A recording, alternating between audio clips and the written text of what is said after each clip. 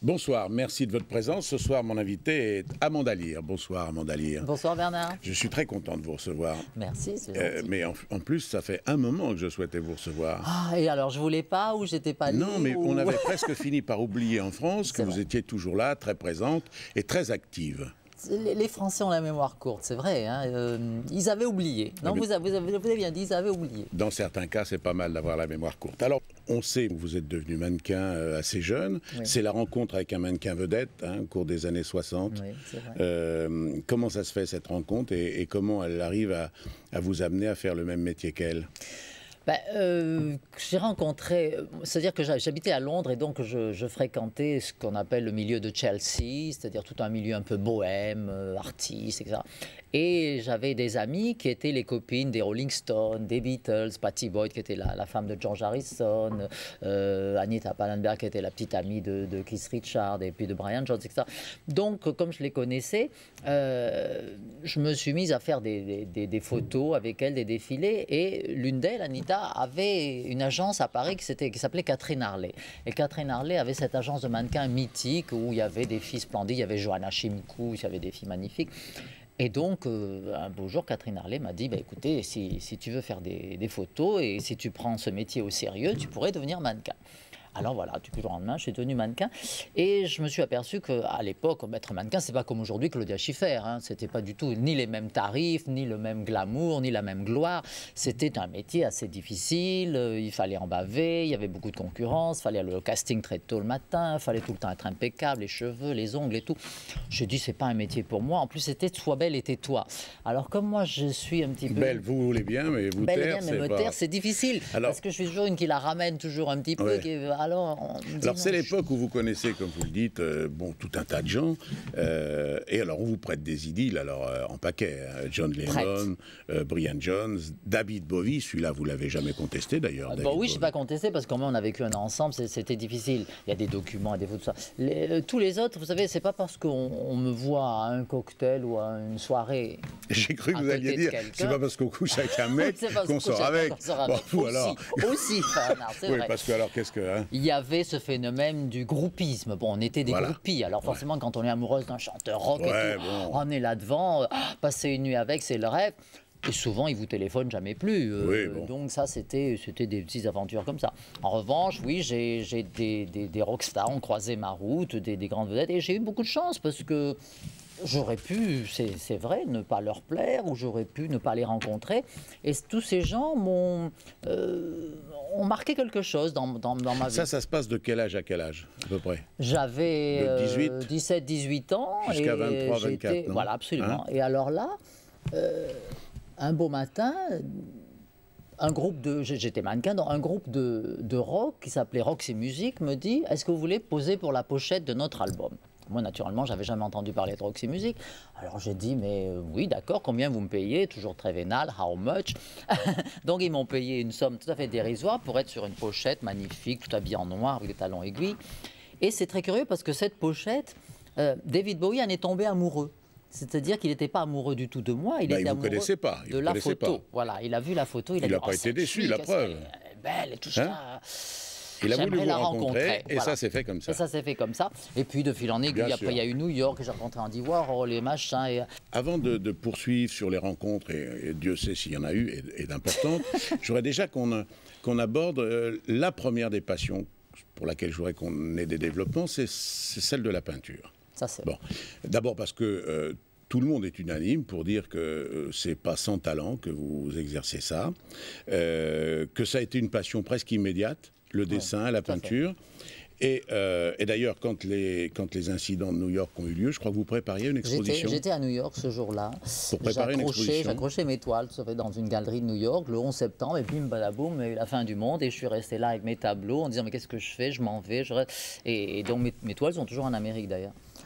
Mais c'est vrai que c'était le premier amour, c'était la peinture, c'est jouer avec des crayons de couleur, avec des, des, des craies, j'adorais ça.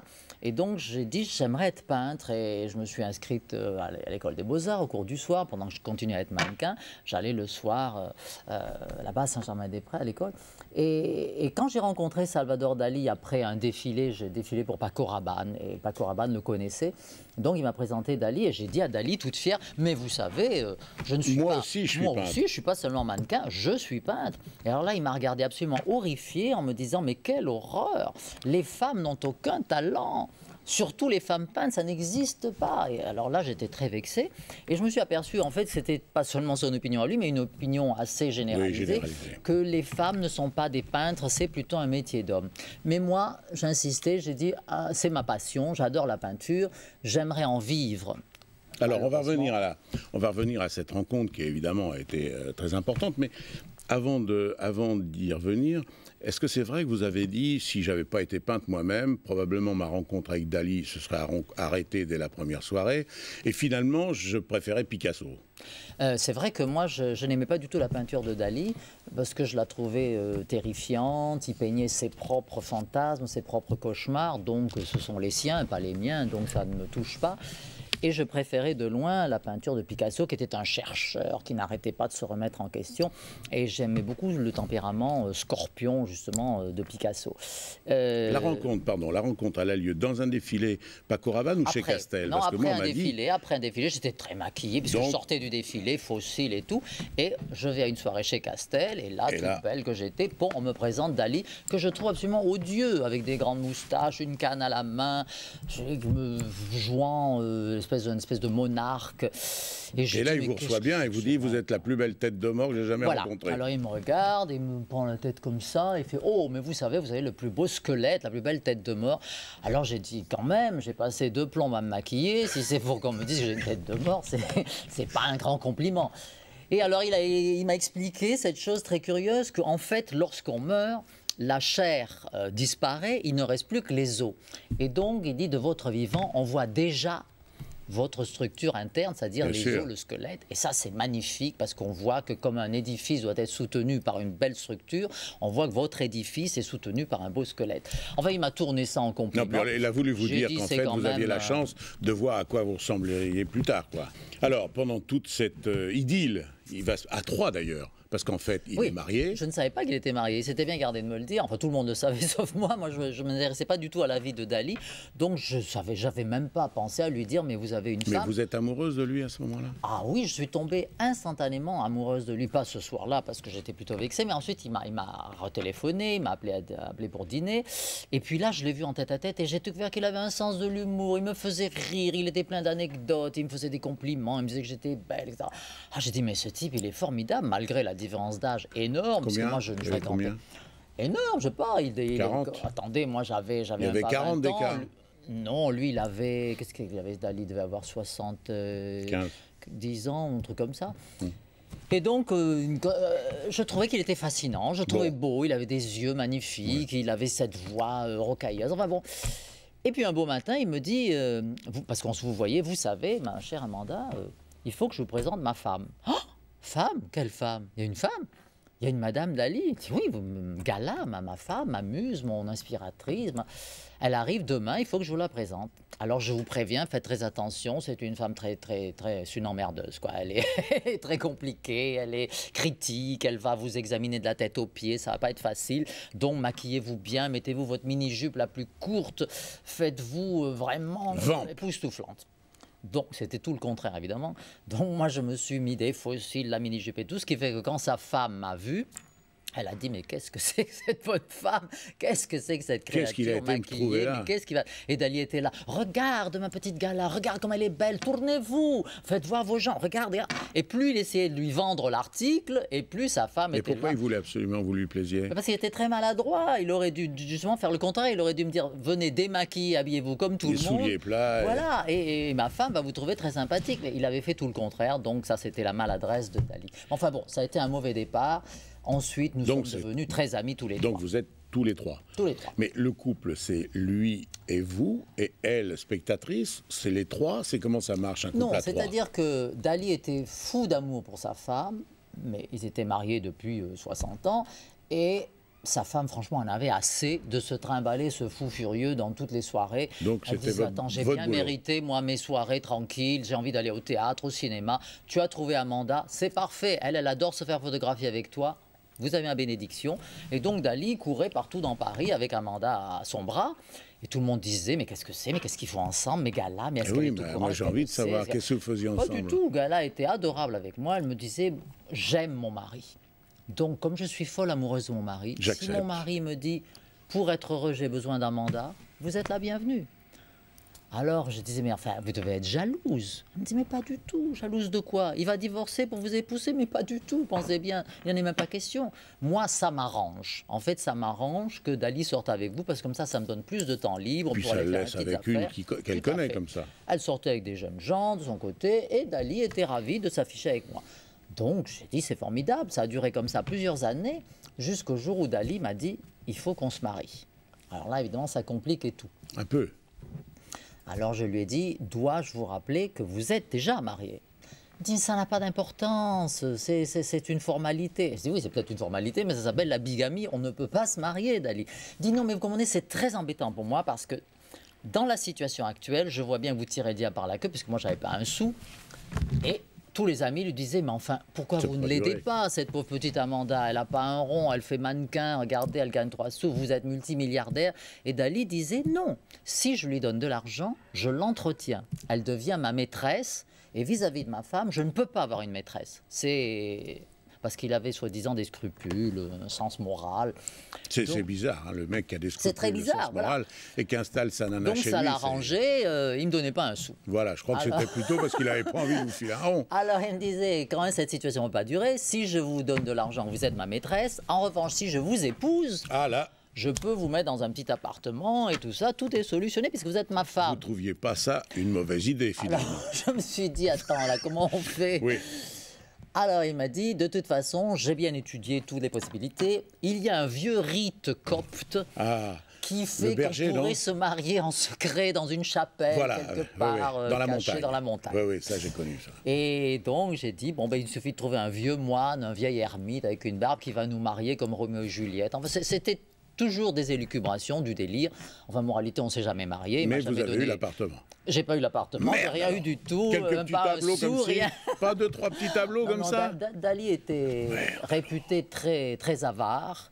Et c'est vrai qu'il n'était pas très généreux avec. Euh, et on m'a dit que c'est une maladie qui avait été contagieuse.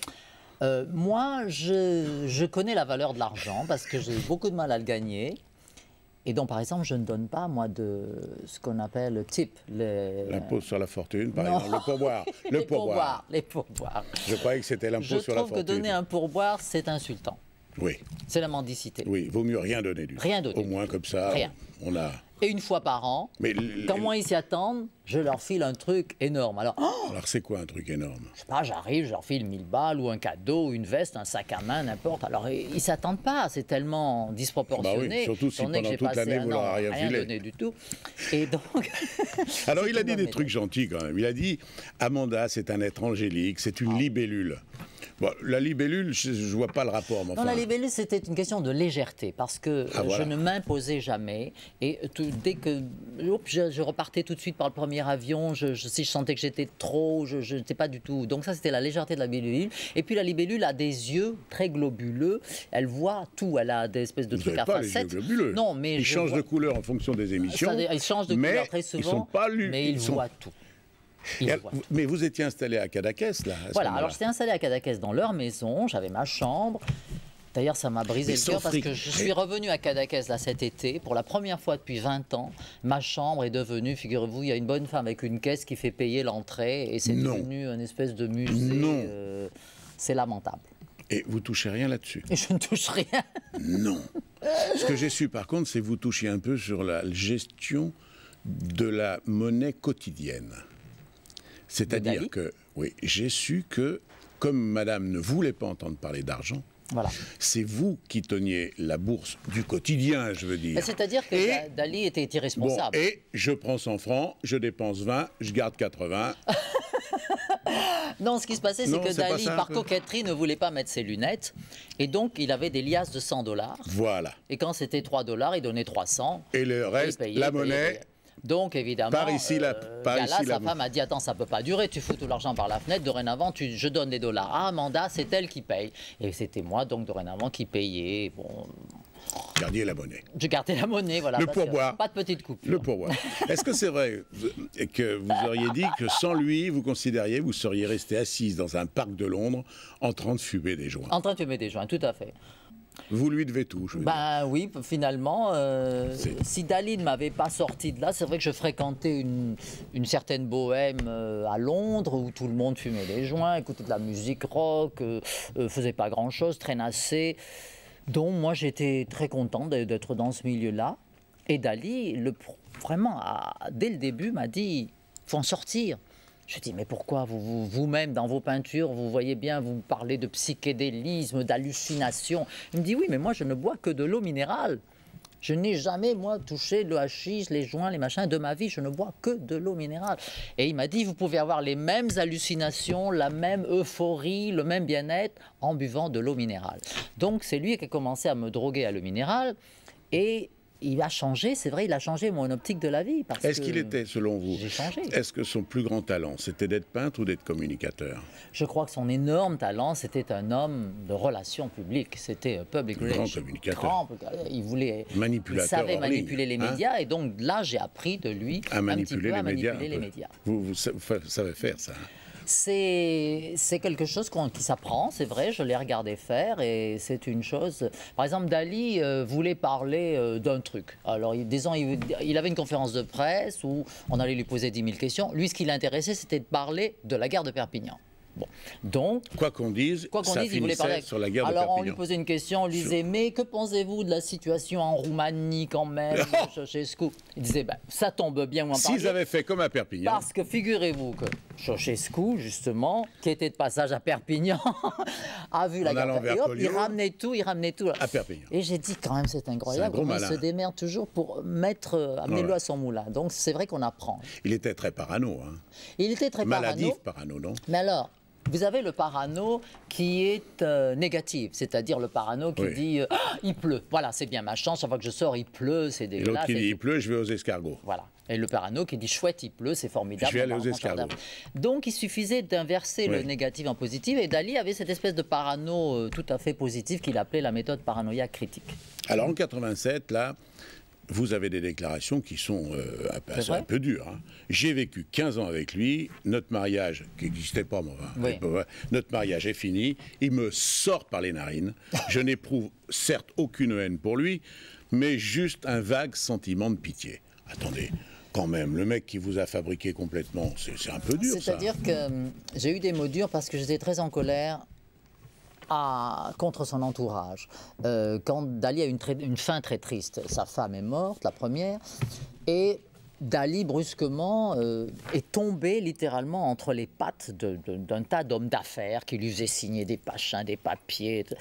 Et c'était fini. Ils l'ont coupé du monde, ils ont mis vraiment un mur entre lui et ses amis les plus intimes. Dali avait besoin de nous, il avait besoin de moi. Moi, je cherchais partout en Europe des professeurs parce qu'il avait pris la maladie de Parkinson. Je cherchais des professeurs pour essayer de, lui venir en aide, de le guérir, de- des médecins et tout. Et on faisait un barrage. Non, non, non, non, Dali a plus besoin de vous, Dali a plus besoin de vous. Et donc, ça m'a mis très en colère parce que j'ai dit, attends, Dali, quelque part, c'est- ma famille, euh, je fais partie de lui. On ne peut pas faire ça. Donc, je, je lui en ai voulu d'avoir laissé tomber euh, ses vrais amis pour se consacrer uniquement à ses hommes d'affaires. Continuer. Et donc j'ai trouvé que c'était une faiblesse, mais bon, l'homme était faible, il n'avait pas le choix peut-être, il était sans doute séquestré, il est mort euh, seul, euh, abandonné, euh, une mort absolument lamentable. Et c'est un petit peu dommage parce que j'aurais aimé être là. Moi, je sais que j'aurais fait par exemple respecter ses dernières volontés. Chose qu'on n'a pas. C'était quoi Dali m'avait toujours dit, lorsque nous étions à Cadaquès, il me montrait sur la colline derrière le cimetière où était enterré son père, il me disait, voyez. Amanda, c'est là que je vais être avec mon papa, le notaire de Figueras, c'est là que je vais être. Moralité, Dali est enterré où? Il est dans son musée, il y a une plaque, et les gens marchent dessus. Les gens marchent sur la tombe où il y a Dali. C'est affreux. L'horreur, quoi. Alors, on va revenir un peu plus à vous et à votre vie personnelle. Moi, quand, euh, quand on commence à essayer de chercher, à essayer de comprendre, j'irais plus, on, plus on, va dans la recherche et moins on comprend qui est Amanda Lear. Parce que on est dans le mensonge permanent, mais pas le mensonge au sens, non, pas le mensonge au sens où vous organisez une contre-vérité. Le mensonge au sens où euh, Amanda Lear, ça doit être quelqu'un de sûr d'elle, de tranquille, d'un peu arrogante, exubérante, etc. Non, c'est faux. Amanda Lear, elle est fragile, elle est sensible, elle a le trac, elle a peur, elle est angoissée. Euh, autrement dit, chaque fois qu'on va aller euh, chercher qui elle est pour confirmer l'image qu'on a d'elle, en fait, ça s'infirme. Et on n'a pas la, Alors, il y a évidemment le plus grand mensonge ou non-mensonge, le plus grand évidemment, c'est euh, est-ce que c'est un mec, est-ce que c'est une femme? Et comme à chaque fois, ça a été une, culture intelligente, ça a été savamment fait, je crois que c'est à partir de, votre relation avec David Bowie que l'ambiguïté existe. Bah, c'est-à-dire, David Bowie, c'est vrai que David, c'est la première fois que je sortais avec un garçon qui se maquillait plus que moi. Ça, il était très maquillé, euh, très ambigu, il disait qu'il aimait les filles, qu'il aimait les garçons, il voulait s'habiller en femme. Donc, il aimait les deux, je crois. Oui, je pense, pendant une période en tout cas. Après, il a renié ça. Bon, il s'est marié, il a eu des enfants. Mais enfin, pendant un moment, oui, il, voulait absolument être dans la, dans la tendance. Dans la mouvance, quoi. C'est-à-dire. Euh, c'était un mouvement un peu ambigu. Bisexuel. Voilà. Alors, il y avait Elton John, il y avait Freddie Mercury, il y avait tous ces chanteurs qui se maquillaient beaucoup. Et donc, David Bowie, sortant avec moi, me, me disait euh, si tu veux faire parler de toi, cette chose-là, c'est-à-dire tout ce qui touche au sexe, l'ambiguïté du sexe, est une chose qui qui frappe tout le monde. Tes chansons sont pas terribles, il n'est pas dit que ça accroche. En revanche, si tu te bâtis un personnage euh, sexy, ambigu, provocateur, etc., c'est sûr qu'on va parler de toi. Et je me suis rendu compte qu'il avait tout à fait raison, parce que mes chansons n'étaient pas terribles, c'était de la musique disco. Et il est évident que dans quelques années, bon, on se rappellera même pas du titre de mes chansons. En revanche, on se rappellera toujours Amanda Lear. Qui c'était déjà C'était laquelle Amanda Lear? Il y a eu tellement. Mais tu sais bien, celle, on disait que c'était un mec. Celle ou celui. Ah, celle-là Celle ou celui. Voilà. Ça, c'est sûr que les gens n'oublieront pas. Ça, on peut pas le construire euh, sur rien. Reconnaissez que la voix, probablement, a été euh, l'explication sur la crédibilité de ça. Parce Disons que... ça aurait été moins crédible si bah, j'avais une petite voix voilà, comme parce qu'une belle nana avec une petite voix... Non, ça c'est sûr. Si j'avais été une petite bonne femme avec une petite voix fluette, les gens auraient dit voilà, un mec... Un mètre 80. un ancien mannequin, grand, avec la voix bien rock et tout, les gens disent « Ah, c'est pas dit, hein, c'est possible, on en a vu d'autres, etc. » Ah mais moi, on arrête pas de me le dire. Parce que figurez-vous qu'un jour, on m'a euh, fait une proposition c'est d'étudier, non, au contraire, d'étudier avec Amanda Lear la possibilité que nous nous retrouvions un jour sur une scène de théâtre. Ah, ah. Et alors, ça ah. s'est su, figurez-vous. Et alors, depuis, ça n'arrête pas. Et la seule question qu'on me pose, c'est au moins toi, tu vas savoir. Toi qui as été près d'elle, tu vas savoir. Et, moi, je, alors moi, je fais le malin. Évidemment, je dis, mais je sais déjà. Alors immédiatement, c'est quoi et quoi Et je dis, je vous le dirai pas. Alors pourquoi je fais ça? Parce que je me dis, si effectivement je reste totalement secret, bah, elle me le dira. En fait, j'ai pas besoin de le dire. Ça apparaît, c'est évident que c'est une ambiguïté qui tient pas la route si on fouille, oui, mais si on fouille un peu. Vous savez, moi, moi, j'en ai fait l'expérience. Bon, quand je suis marié, mon mari m'a dit Bon, écoute, c'est suffit ces conneries. Moi, j'ai une famille, etc. Alors, lui-même était. était, était lui-même avait fréquenté Roger Perfit. Il avait été. Non, mais en revanche, il avait été adopté. C'était le fils adoptif de Roger Perfit. Donc, il avait pendant plusieurs années tapé à la machine. De il a quand même vécu très près avec un homme. Oui, tout à fait. Qui était lui-même provocateur, voilà. etc. Et donc, donc quand on est marié, il a dit écoute, cette histoire, il faut que ça cesse, etc. Ah bon, j'ai dit bon, très bien. Alors je fais les dernières photos nues pour Playboy. Donc j'ai fait le Playboy américain. Et quand on m'a vu toute nue, j'ai dit bon, comme ça, ils verront d'abord une fois pour toutes ce qu'il en est, parce que c'est très explicite, les photos. Et puis, secondo, je me marie, ça met fin à toutes les rumeurs. Eh bien non ce qui s'est passé, c'est que, un, les fans ont été très déçus. Ah parce qu'ils ont regardé les photos, tout ça, ils ont dit. Merde, c'est vraiment une femme. Alors, c'est vraiment une femme. Merde. les gens pensaient que si elle était, venait de la planète Mars, ça faisait rêver. c'est vrai, c'était mieux. Tandis qu'une bonne femme, comme toutes les autres, c'est. Alors, il y a des, chercheurs italiens. Ils ont regardé les poils, hein ils ont regardé l'implantation des poils du cul. C'est-à-dire, ils se sont dit. Euh, si elle est opérée, Non, parce qu'apparemment, les poils des hommes vont dans un sens, les poils des femmes dans un autre. Enfin, je ne sais pas, j'ai Bah, jamais mis mon nez là-dedans. Mais Vous jamais Non, ça je paraît-il crois pas. c'est comme ça. Alors, euh, c'est vous dire à quel point Ah j'en ai moi, on fait m'a pas couler donné de explication. Non, non, moi, on m'a dit qu'ils avaient euh, décortiqué les photos et fait agrandir effectivement pour vérifier si l'implantation des poils Voilà, euh, le bon signifiait qu'il n'y avait pas eu d'opération. Ah bon, d'accord. Voilà, parce que s'il y avait une opération, ça aurait modifié. Les, poils ah, auraient voilà, été dans l'autre voilà, sens. Voilà. Enfin, moralité, maintenant, j'en ai plus de poils. Comme ça, vous êtes, met tout le monde d'accord, j'ai plus un poil. Ça, c'est parce que vous n'avez pas envie qu'on Voilà. Mais en revanche, c'est vrai que, que- que ça a provoqué une déception. Les gens voulaient en fait du merveilleux. On aime ça, euh, la, la femme à deux têtes, euh, les, la frère, les frères siamois, tout ce qui est un peu monstrueux, ça plaît beaucoup. Et là, j'étais une bonne femme comme toutes les autres, qui en plus se mariait avec un type. hein. Alors ça a déçu les gens. Dit ah ben mince, Elle alors est c'est- banale, en fait. c'est vraiment dommage. En Elle fait, devient banale. Elle devient une chanteuse. Voilà, une chanteuse comme toutes Ancienne les autres. mannequin. Et ça, moi, je vous assure, ça m'a beaucoup choqué. Donc, je dis, mais vous devriez être content que je sois une chanteuse comme toutes les autres. Eh bien, non. Alors en fait, bon, vous n'êtes pas une chanteuse comme toutes les autres. En 76-77, hein, c'est le premier album. C'est un album euh, euh, qui s'appelle I Am a Photograph. I am a photograph, tout à fait. Et là, ça devient, c'est la période disco. Là, on est en Tout plein à fait. Ça s'appelait Et- I am a photograph justement parce que, comme je vous l'ai dit, David Bowie était tombé amoureux de ma Et photo ça marche, hein, et non ça- pas de ça- moi. ça- et ça donc, cartonne dit, bien, hein. je suis une photo. Alors ça a cartonné, ça passait dans toutes les boîtes disco, les jeunes dansaient là-dessus. Et brusquement, s'est ouvert une nouvelle vie parce que moi qui tirais un peu le diable par la queue, qui n'avait pas beaucoup d'argent, tout ça, on m'offrait des ponts d'or, je roulais en limousine, je descendais dans des grands hôtels, je signais un contrat de 7 ans avec une maison de disques. Waouh, la gloire Et je découvrais un nouveau phénomène, c'est que moi qui avais été groupie euh, avant, Des rock stars. je découvrais qu'il y avait des groupies garçons aussi qui m'attendaient à, À la, la fin de mes de concerts. Mais c'était nouveau, c'était formidable. Je ne savais pas que ça existait. Alors tous les soirs après mon concert, j'allais de ville en ville, d'hôtel en Et hôtel. de marin en marin. Voilà, et il y avait Enfin, des de jeunes fan gens, fan, des jeunes gens qui m'attendaient, qui faisaient n'importe quoi pour m'approcher, pour vérifier si la rumeur était vraie. euh, en tout cas, euh, en attendant, au moins ils ne me laissaient pas seul pour la nuit.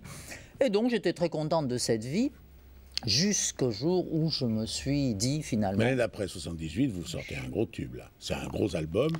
Follow me. Euh, et voilà. Et Alors, ce qui s'est passé, c'est que j'atterris. J'ai atterri un jour en Allemagne dans un aéroport et en regardant par le hublot. de la voiture avec marqué Follow Il Me. y avait une voiture jaune avec des carreaux noirs et jaunes où il y avait écrit Follow Me. Suivez-moi. Et j'ai dit, tiens, suivez-moi, voilà un bon titre. Et c'est parti. C'est Dali qui a choisi la pochette, hein, je crois, à ce moment-là. Alors la pochette, euh, on, on l'a faite dans la cage au Lion. Euh, J'étais tout en cuir avec un fouet de dompteuse. Dali m'a dit que ce serait une très bonne idée cette photo de pochette.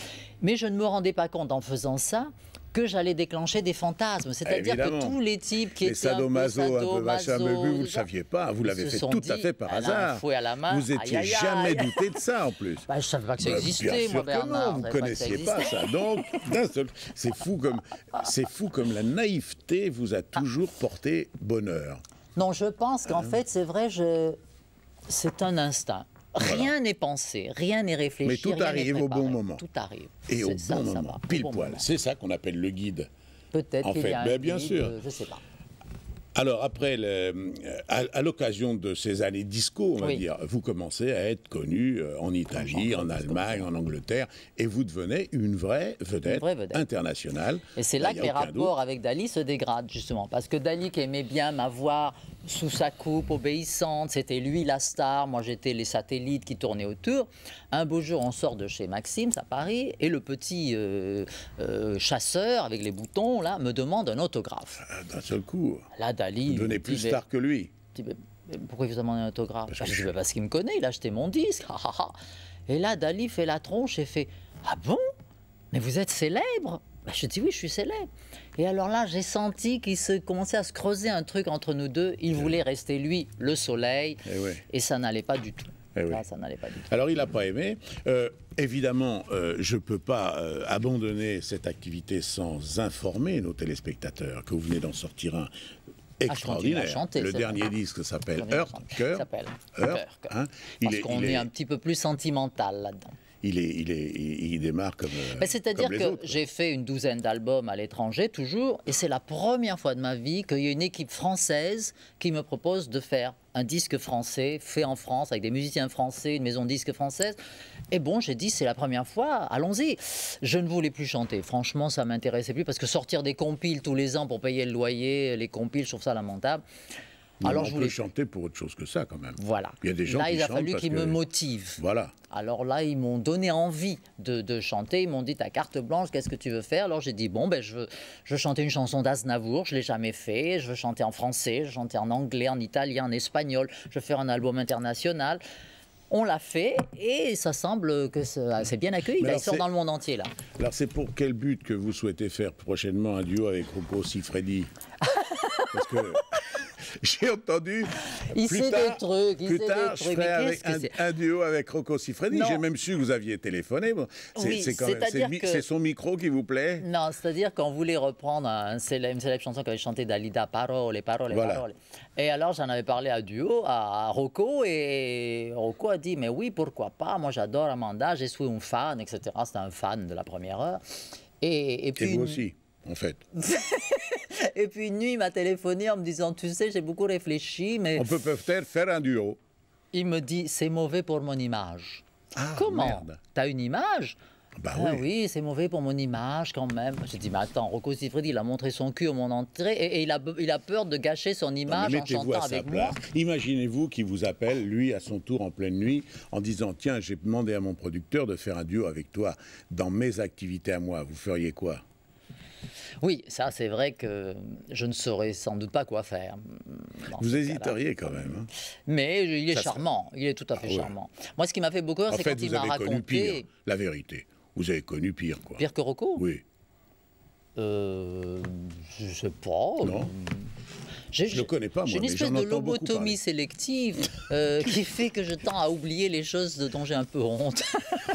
Ah oui. Ça, c'est bien. Cette amnésie, là, bon, je m'en rappelle plus. Je sais, j'ai dû faire des, des choses assez, assez abominables, mais euh, ça. Ça vous a pas marqué. Ça m'a pas marqué. Ce qui prouve que vous aviez j'ai gardé ma Ce qui fraîcheur. prouve que vous aviez aucune culpabilité à garder. Dans les années 80, vous rencontrez un personnage euh, euh, évidemment énorme en Italie qui s'appelle Silvio Berlusconi. Oui. Dont je suis sûr qu'il n'y a pas eu de quoi que ce soit parce que vous ne correspondez pas à son canon de beauté. Moi, je le connais bien.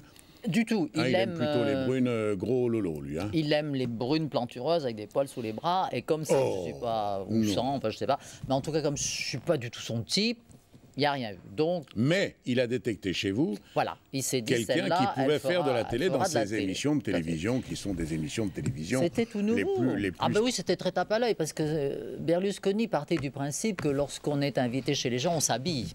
Alors lui, euh, c'est, il était, en plus c'était l'arrivée de Dynasty, de Dallas, de toutes ces séries américaines très luxueuses, paillettes, ça. Et il voulait faire de la télé vraiment tape à l'œil. Et donc, il m'a habillé par des grands couturiers. C'est la première fois de ma vie que je voyais que tous les caméramans étaient en smoking, alors qu'on ne les voit jamais.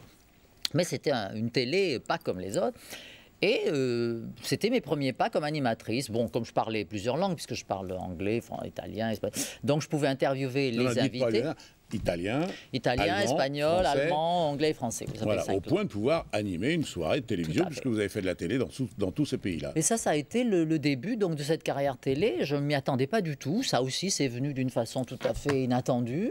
Ça a plu, le public a accroché. euh, Et, et bon, je me suis retrouvée brusquement euh, italienne. Voilà, pendant des années et des années, je travaillais chez lui.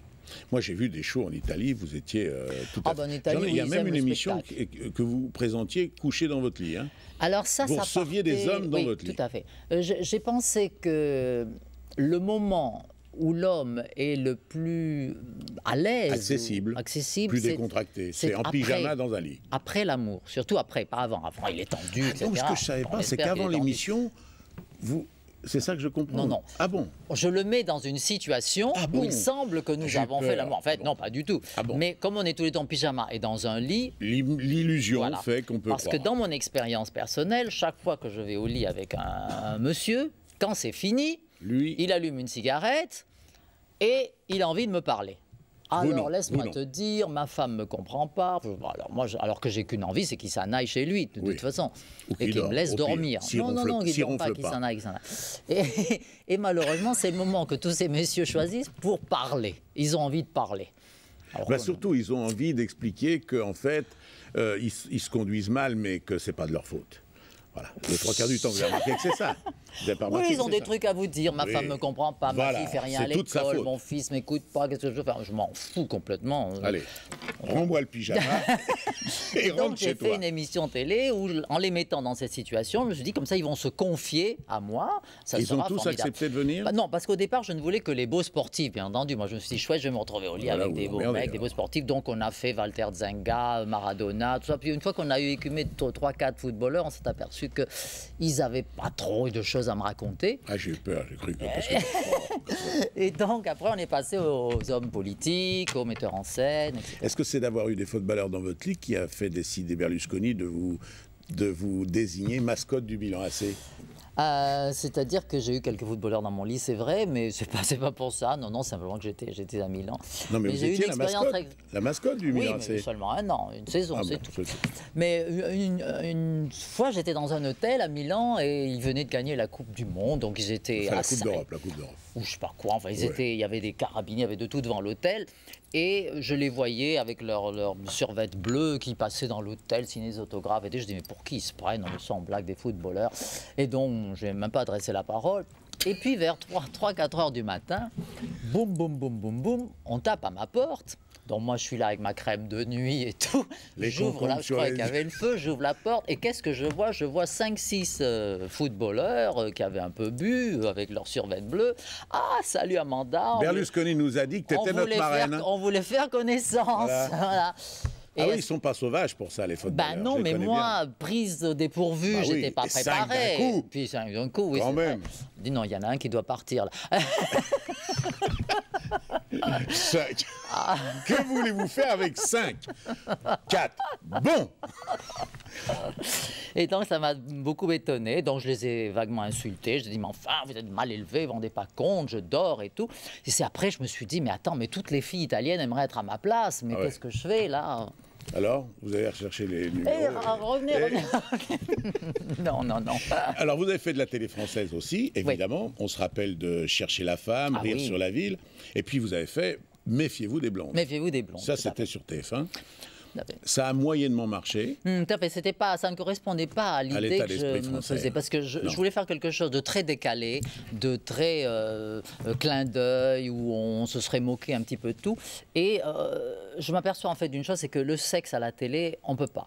Euh, on peut pas parler de sexe à la télé. Le sexe est dans les chambres à coucher. Dès qu'on parle de sexe à la télé, ça devient euh, racoleur, grivois, Ça devient etc. XXL, quoi. Absolument. Et puis on ne peut pas s'attendre non plus à ce qu'un invité vous raconte, vous dise la vérité. C'est pas vrai. Sa femme va regarder l'émission ou ça se trouve elle est en coulisses. Il va pas me dire oui j'adore me faire enchaîner, j'adore me faire fouetter. Il va pas me le dire, c'est normal. Donc on ne peut pas euh, faire une émission sur le sexe à la télé. Je pense que c'est impossible. Au moment où Bouvard vous a fait venir dans les grosses têtes, où là, c'est une émission où il faut avoir beaucoup d'humour, beaucoup de répartie. Beaucoup de répartie, oui, il faut- Euh, il faut être euh, très, très rapide Mm, euh, sur l'obstacle, si j'ose dire. Surtout quand on est la femme, parce qu'en général, il y en a une Ouais. qui est la souffre-douleur. Oh, ben surtout quand il y a Kersozon, quand il y a ces gens-là. des autres Oh. et qui vous en racontent de toutes les couleurs. Mais ça, ça a montré à quel point vous étiez capable de faire vraiment mille et mille et une choses. De la télé, de la peinture. oui, c'est incroyable, cette, faculté de- On apprend à rebondir, on apprend la on apprend à pas se, dé- se déstabiliser par euh, des jeux de mots, des trucs comme ça. C'est c'est toujours une bonne école. Mais c'est curieux parce que ce n'est qu'au bout de plusieurs années, quand finalement on a acquis cette expérience et qu'on est prête à finalement avoir une bonne émission télé, qu'on vous dit Ah ben trop vieille, maintenant on cherche des petites jeunes. Alors, Elton John a dit une femme pleine de dons. J'aime la précision de son crayon Oui, dans le portrait qu'elle a fait de moi. oui, j'ai fait un portrait de lui au crayon. Donc tout le monde. Il était très content parce que je lui avais rajouté des cheveux. Que c'est à l'époque, il n'avait pas encore sa moumoute collée. Alors moi, j'avais mis plein de cheveux. Il trouvait ça très bien. Mais c'est vrai que bon, on trouvait que j'étais assez doué pour le- la peinture. Et je déplore de pas en vivre. Vous imaginez le bonheur si on peut vivre de sa peinture. On reste à la maison, on peint, on envoie les tableaux par le Cernam et on attend le chèque. Non, mais c'est génial. Vous allez au restaurant, vous signez la nappe. Ah oui, fini. Euh, vous voulez une voiture, vous signez, vous signez une aquarelle. Enfin, il paraît Picasso, Picasso. avait jamais eu besoin de chéquier. Il s'est servi que de sa signature. C'est vrai, c'est vrai. On raconte cette anecdote. Le pape, euh, vous l'avez plaint de ne pas avoir accepté euh, de vous recevoir pour que vous lui C'est-à-dire son qu'avec tableau. le pape, il y, a eu, un petit malentendu. Moi, j'ai fait son portrait et euh, comme euh, j'avais pensé, il est le successeur de Saint-Pierre, qui avait l'histoire marché sur l'eau et tout, donc j'ai fait le pape dans sa piscine, c'est-à-dire avec juste la tête qui dépassait de l'eau. Puis ça m'évitait de peindre tous les plis de sa robe et tout ça. Et les mains, je suis pas très bonne pour les mains. Donc on voyait que sa tête qui sortait de l'eau. Et j'ai donné le portrait au pape, au Vatican. J'ai dit c'est cadeau parce que c'est un hommage, etc. Et là, ils m'ont répondu Oh, vous, on vous connaît, vous voulez vous faire de la publicité. Oh, moi, de la publicité Mais non, pensez-vous Si, si, si, si, si. Et puis en plus, votre liaison avec Roger Perfit, tout ça, machin, vous êtes limite euh, extra euh, à excommunier. Enfin, ils m'ont refusé mon portrait en bloc. Ils m'ont dit on le veut pas. Voilà. Comment vous ne voulez pas mon portrait Mais j'ai dit, mais c'est un cadeau. Vous n'avez pas le droit de refuser un cadeau. On ne le veut pas. Et ils me renvoyé. Alors ça m'a énormément vexé. J'ai dit, je vais m'enchaîner au Vatican, devant la porte, je vais faire la grève de la faim, je m'en fous. Il faut qu'il y ait il faut absolument que vous acceptiez ce portrait.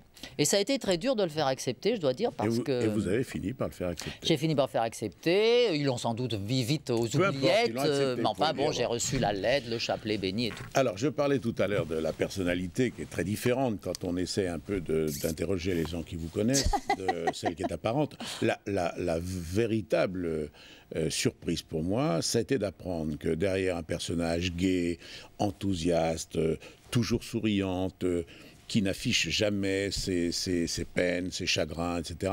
Il y a une femme euh, qui est très pessimiste, qui voit souvent la vie du mauvais côté.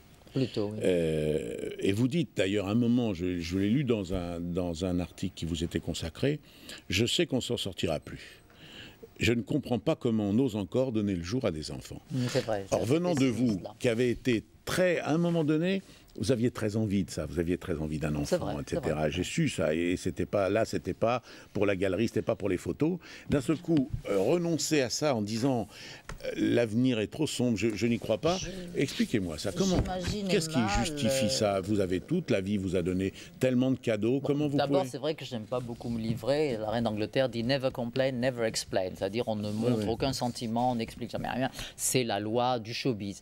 Mais bon, ça fait une certaine schizophrénie avec la femme publique, la, gagnante, tout me réussit, j'ai tous les hommes à mes pieds, et la femme privée qui est comme, en effet, une femme qui se sent très vulnérable, euh, qui est très, très fleur bleue, et très pessimiste, et qui voit souvent la vie en noir, au point que lorsque je voyais une femme enceinte, je disais, mais est-ce qu'elle se rend compte qu'elle va, elle va donner le jour à un gamin qui, dans, dans l'année 2010, si ça se trouve, marchera dans les rues avec un masque à gaz, l'humanité est pourrie, nous allons vers des guerres et des épidémies, je trouve que c'est. Euh, non, mais c'est ça que j'essaie de Il faudrait réfléchir avant justement de faire tous ces enfants. Qu'est-ce qui vous amène à ça Parce que quand on regarde bien, en général, ça, c'est l'analyse de gens euh, que la vie n'a pas gâté, qui se sont rendus compte, qui se retournent ou pas, qui soient actifs ou pas, qui soient La vie ne m'a pas gâté. Donc la vie ne vous a pas gâté. Non, non, la vie ne m'a pas gâté du tout. Fait. Alors donc votre vie, c'est une course en réalité. Non, ce n'est pas une course, c'est une bataille. Ça a été une bataille non-stop pour m'imposer, pour euh, me faire accepter, pour réussir, pour faire passer mes idées, pour faire ce que je voulais. Ça a été une bataille. C'est plus facile pour un homme. Pour une femme, c'est encore une fois, soit belle et tais-toi. Pour un mannequin, n'en parlons pas.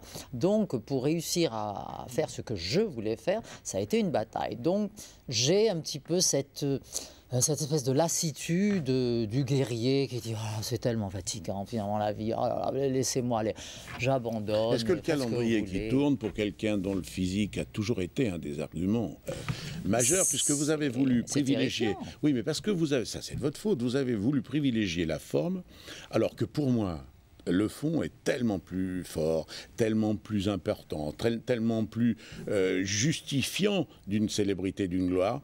Vous avez fait passer la forme en avant. Et la forme, elle est. Euh, vous avez changé de look 30 fois, vous avez cherché tout le temps. Moi, j'ai l'impression de vivre quelqu'un qui court après quelque chose, soit pour fuir euh, une image, un passé, une histoire dont on n'est pas fier et qu'on n'a pas envie de revivre, ou soit pour en retrouver une après laquelle on s'accrocherait enfin. Pour, vous êtes, vous comprenez, pour être fan de Saint Rita. Bon, euh, tout le monde sait qui c'est Saint Rita. Oui, c'est un des cas désespérés. des suicidaires, des, gens qui veulent plus vivre, etc. Donc on sent chez plusieurs personnages un peu qui ont votre histoire.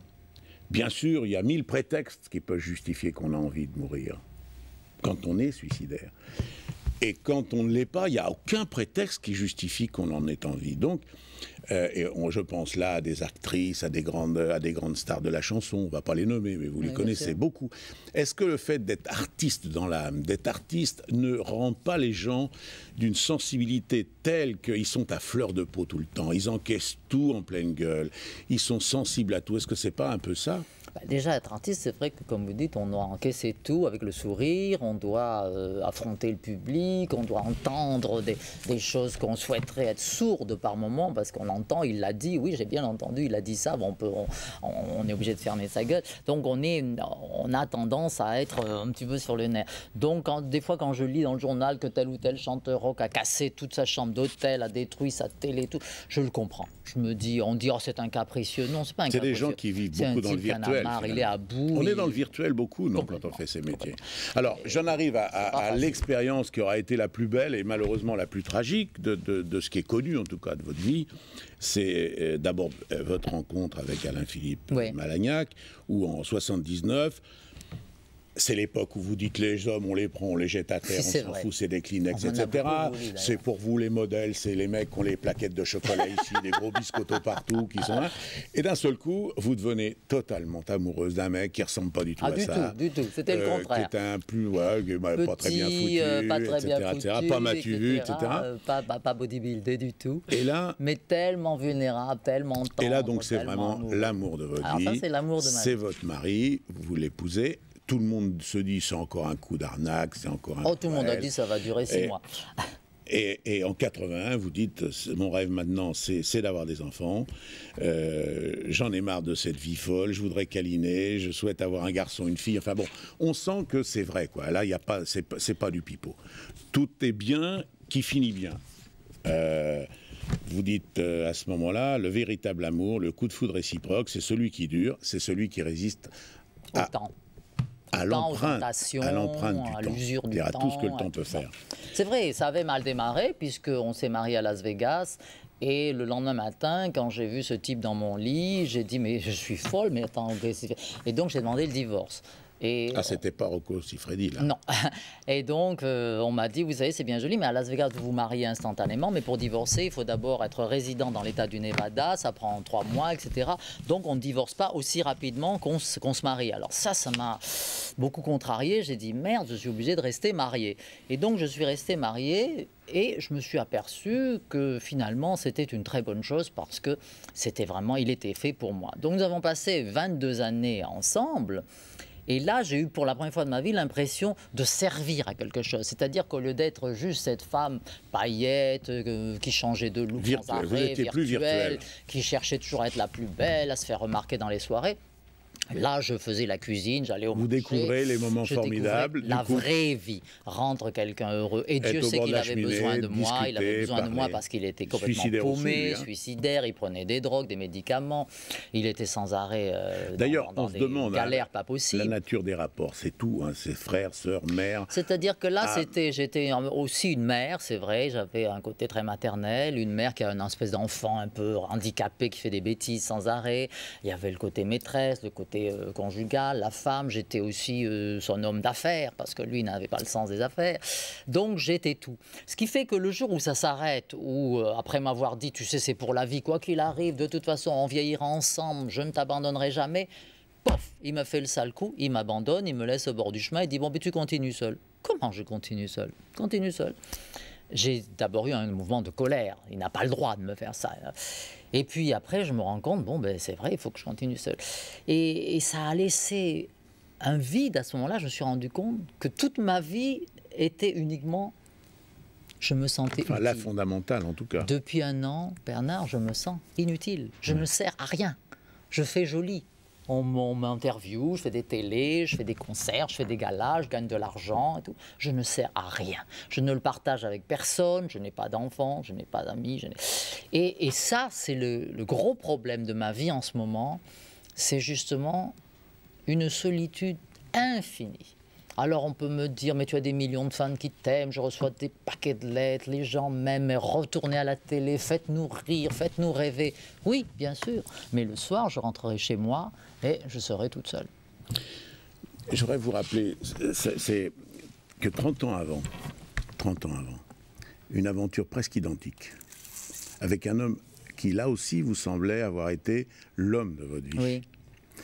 Et vous étiez, rappelez-vous-en, ça me fait un peu de la peine, mais d'un autre côté, j'ai envie de vous le rappeler pour vous dire que rien n'est jamais perdu, rien n'est jamais fini. Puisqu'à cette époque-là, déjà il y a 30 ans, une même rencontre. J'étais tombée euh, folle amoureuse d'un jeune homme, beau comme terminé, le c'est soleil. terminé de la même manière. Alors lui, tout, il avait, il était riche, il était jeune, il était beau, il était anglais, etc. Il conduisait une Lotus et pouf, il est rentré dans un camion, donc il s'est tué sur le coup.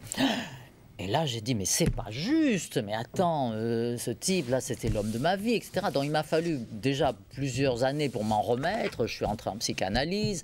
Ah, je suis maudite, dès que j'aime quelqu'un, il lui arrive une merde, je porte la shkumoun, je suis. Enfin, j'ai commencé à, me faire tout ce cinéma dans ma tête. Je, on m'empêche d'être heureuse, je ne serai jamais heureuse. Et c'est vrai qu'on se pose des questions. Là, je me dis, mais attends, euh, qu'est-ce qui se passe là? Mais jamais 203. Oui, ah ben merci. Non, mais jamais 203 sur la rencontre. Ah, On ne peut pas rencontre. dire euh, belle, intelligente, active, créative, etc. Euh, c'est vrai qu'on ne peut pas se satisfaire de l'amour des inconnus, parce que l'amour des inconnus, c'est dans le virtuel. Mais je sors avec des jeunes gens qui me flattent beaucoup, qui me disent tu es belle, tu es désirable, ça me rassure. euh, je, grâce à eux, je me sens encore. Non, je crois que le compliment qu'on peut vous faire vraiment. le plus, c'est premièrement, vous êtes intelligente. Deuxièmement, vous êtes très sensible. Et troisièmement, vous avez énormément de talent. Et à partir de ces trois éléments-là, moi, je fais partie de ceux qui ont très envie que vous soyez encore là pour nous amuser, pour nous divertir, pour qu'on se rencontre, et puis pour que, à l'occasion d'une nouvelle aventure, peut-être euh, une autre euh, histoire d'amour grande, solide et qui finira, euh, j'en suis sûr, mieux que les deux premières, vous permettre de tenir le coup, comme Je vous avez permis. que, Vous savez le nombre de fois que vous êtes rentré dans des ménages, dans des foyers, dans des Ah bon maisons, où il s'y passait des, des drames, où il s'y passait des situations euh, à la fois euh, conflictuelles ou parfois douloureuses, et le soleil est rentré, votre sourire, votre amabilité euh, a fait que ça a changé le Ouais. cours des choses. Donc il faut, il faut que vous le changiez pour vous-même. Et puis qu'on se retrouve au théâtre en septembre. On va peut-être se retrouver au théâtre en septembre. Non, mais je dois dire que l'aventure théâtrale me tente. Pourquoi? Elle me tente parce que tous les soirs, on sent la chaleur du public. Ce ne sera pas comme à la télévision. J'aurai les applaudissements, les baisers, l'amour du public. Et j'en ai énormément besoin. J'ai vraiment Alors, besoin d'un contact physique. En plus, euh, la chose merveilleuse, c'est qu'avec le théâtre, euh, quand vous entrez, tous les soirs, vous êtes vierge, vous êtes sans succès et sans gloire. On. Et c'est pendant les deux heures un quart du spectacle que tout renaît. Il faut les le reconquérir. Succès, la gloire et le bonheur, la jubilation finale, lorsqu'on a eu le sentiment d'avoir tout vrai. donné et qu'ils vous le rendent par, euh, par des baisers, des applaudissements, des bravos. Non, mais c'est vrai que cette nouvelle année qui vient, là, il y a plein de nouvelles aventures. Il y a cet album, donc Vous qui imaginez sort. il y aura l'Olympia en juin, il y a la sortie de mon film avec Langali en février, il y a une nouvelle exposition de peinture, donc je dis une nouvelle émission de télé. Donc il y a plein de nouvelles choses. Ça me fait presque un peu peur parce que je me dis de là-haut, maintenant, il est devenu mon impresario. J'ai Bien l'impression sûr. qu'il m'envoie tout le. Mais voilà Est-ce que je vais être à la hauteur? Vous Voilà. allez être à la hauteur. J'en suis certain. Merci en tout cas d'avoir accepté Bernard. mon invitation.